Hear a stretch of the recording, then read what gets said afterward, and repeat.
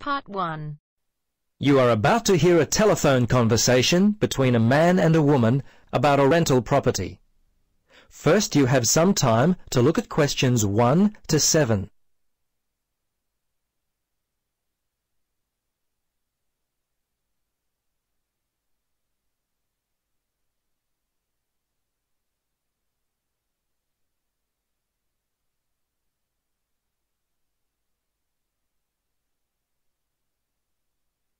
Now, listen carefully and answer questions 1 to 7. Central Realty, Jill speaking. How can I help you? Yes, hello, Jill. I've got a problem, a complaint I wish to register. Who should I speak to? You'll want to speak to Tracy, the residential manager. Just a moment and I'll put you through. Thanks. Hello, this is Tracy. I understand your rent is going to be increased. Yes, this is why I'm calling. I was told that my rent would not be increased for the length of my six-month contract, which I signed only four months ago. What's going on? Is my landlord allowed to do this? I see. Yes. Okay. That seems strange. Look, can I take down some of your particulars and I'll register a formal complaint to the landlord on your behalf? Yes, sure, that'd be good. Firstly, name and address, contact details. Yes, Jane McSweeny. That's M-C-S-W-E-E-N-Y. 3 Maugher Street. That's M-A-U-G-H-E-R Street. Windaree, double three double five. And the phone there? Yes, you can contact me on double three four seven five six extension three one seven six. I generally arrive home by six o'clock in the evening, so you can call me around that time, but not after nine. Oh, sorry, eight thirty, because that's the time I leave for work. Okay, so I should note down that the problem is that your landlord wants to raise your rent. And when did you first move in? Yes, well, the contract began on August first, and oh, hang on. Sorry, that's the ending date. We actually moved in on February the first. Before you listen to the rest of the conversation, you have some time to look at questions 8 to 10.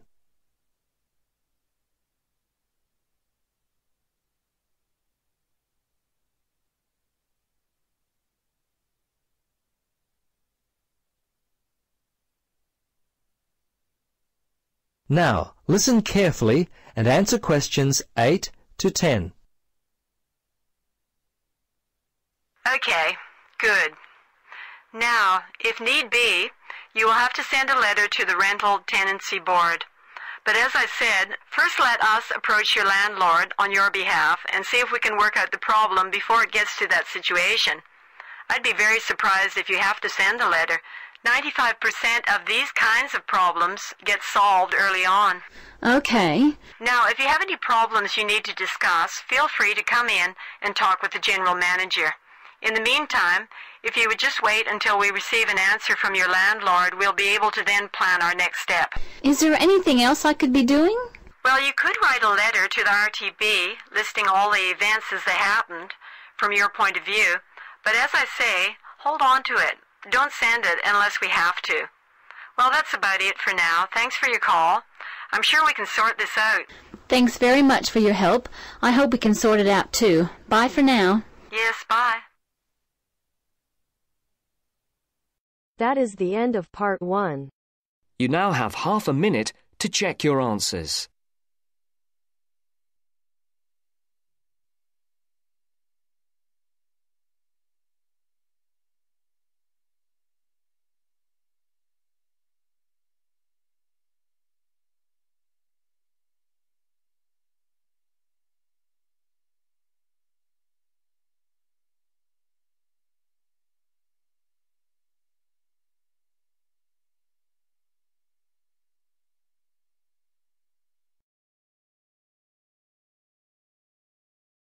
Now turns to part 2.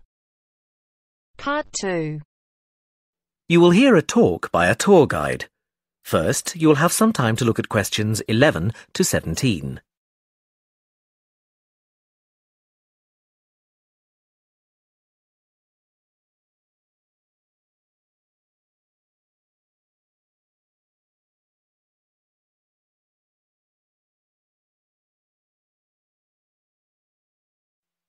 Now listen carefully and answer questions 11 to 17.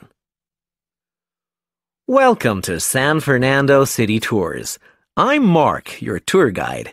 We have a lot to see in three hours, so make sure you're comfortable. We'll be traveling into the historical district first, and then into the town center. After that, it's out to the harbor, and we'll finish up at the lighthouse, just past the harbor. That will take us up to midday, and after that, you're free to do what you want. At the lighthouse, you'll have a chance to visit the tea room and take photographs of the magnificent coastline. Now, as we have only three hours, we won't be able to take you around the shopping district, but we think you'd prefer to look around the shops there in your own time anyway. San Fernando has some well-known tourist attractions, the lighthouse, for example, and the National Library. However, the little-known military museum is not to be missed. Be sure to visit before you leave.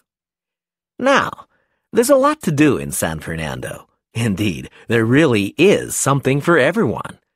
For those who love the water, I can recommend a trip on the Seafarer, one of the most famous boats on the San Fernando River. It does an evening trip with a three-course meal included. It's great fun for everyone, but especially for young people in their teens or 20s. After nine, there's a disco on the boat, and it gets really lively. Then there's a climbing wall near the town center. It's incredibly popular, with a large wall for expert climbers and a smaller wall for novices. There's a junior wall and a creche, so it's a great day out for those of you with kids. And if you like walking, there's some great walking tours. The City Sights tour is highly recommended, as is the walking tour by the coast but that one's only for the fit, not really suitable for children or the elderly. For more mature people, or those less able to get around, I would suggest a tour around the vineyards. It can be done in the luxury of a coach, and it's a wonderful way to explore the region's wines. Before you hear the rest of the talk, you have some time to look at questions 18 to 20.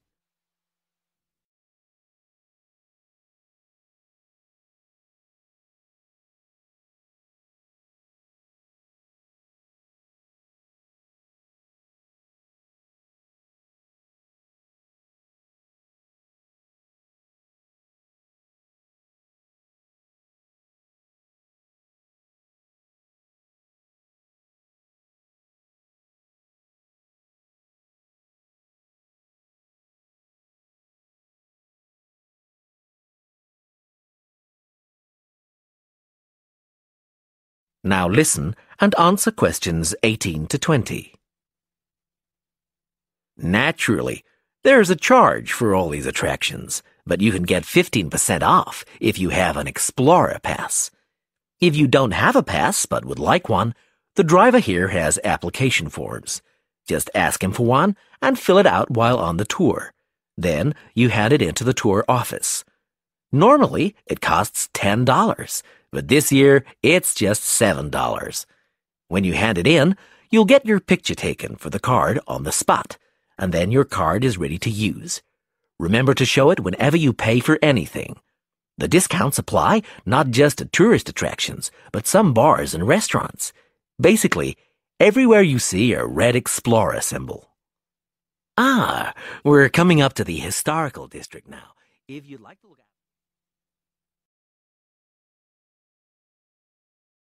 That is the end of part 2. You now have half a minute to check your answers. You now have half a minute to check your answers.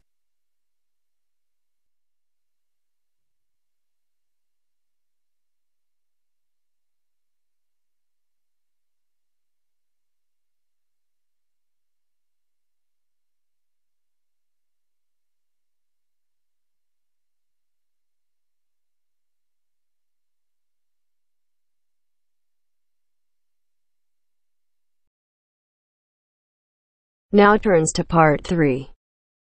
Part 3. First, you have some time to look at questions 21 to 25.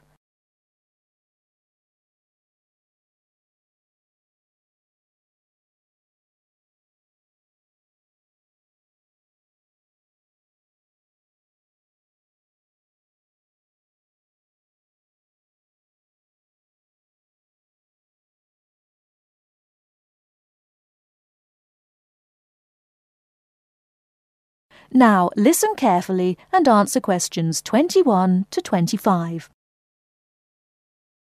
Good afternoon, everybody. It's Ronald Jaff with this week's edition of Movie Talk. First, let's look at the films this week in the theatre The Kid Rides Again, When You Find Love, and Wronged. The last of the three, Wronged, is definitely the best. In fact, one of the best films in a long time, with Henry Michelson and Joanne Seymour. It is about a man who gets a life sentence for a murder he did not commit. In the style of the films of the 40s and 50s, it is a modern story of a man and his wife, wonderfully played by Joanne Seymour. They fight to make people believe Thompson is the wrong man and not the killer. The strength of their love is wonderful even after Thompson has been in prison for 15 years. Of course, I won't tell you what happens after Thompson's 15th year in prison. That would ruin the story. But if you see no other film, you should see this one. The story may be old, but the acting is great, and it will hold your attention from beginning to end. Unfortunately, I can't say the same for When You Find Love. Just another silly story about how boy meets girl, boy loses girl, boy gets girl again, and they live happily ever after. Before you hear the rest of the talk, you have some time to look at questions 26 to 30.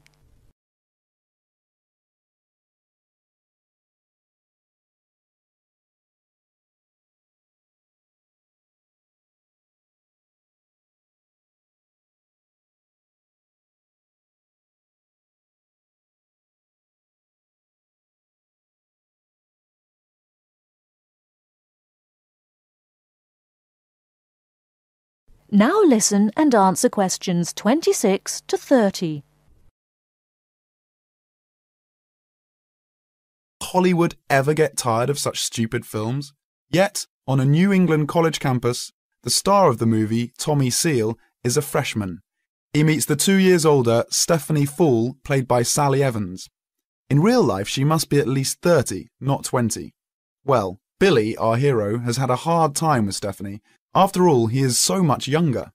But they fall in love in about a minute, as long as it takes to take a picture with a Polaroid, and they are both so happy, in true paradise, until, that is, until Buck, the star football player, played by Ronco Starr, the only good acting in the film, steals Stephanie away from the poor Billy. He is, after all, a senior and football star, and the rest of the film is about, naturally, how Billy gets Stephanie back, making her remember their love.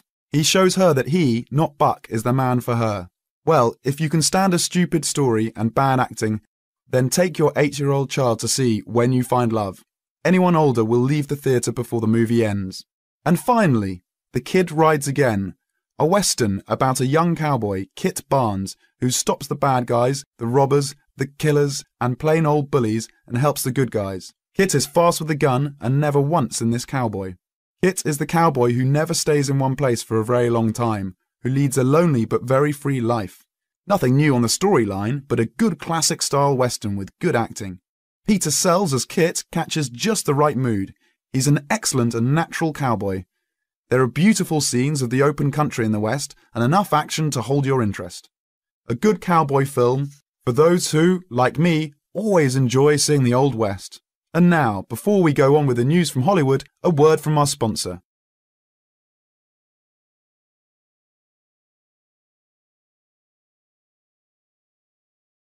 That is the end of part three. You now have half a minute to check your answers.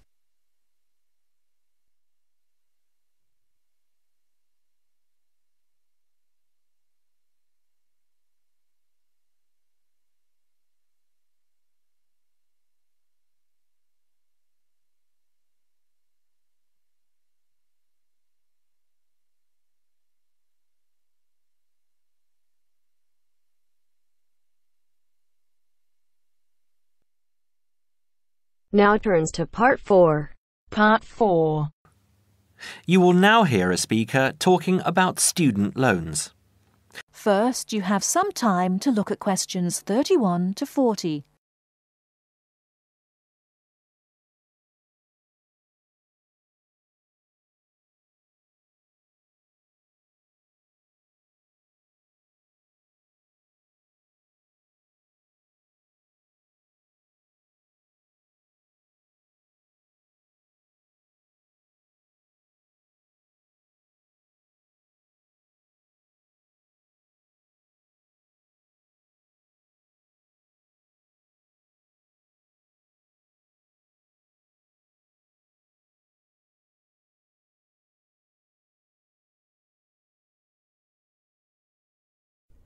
Now listen carefully and answer questions 31 to 40.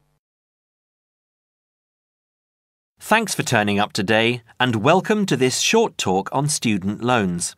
What you'll hear from me today are a few starting points, which should guide you in the right direction for what is suited for you.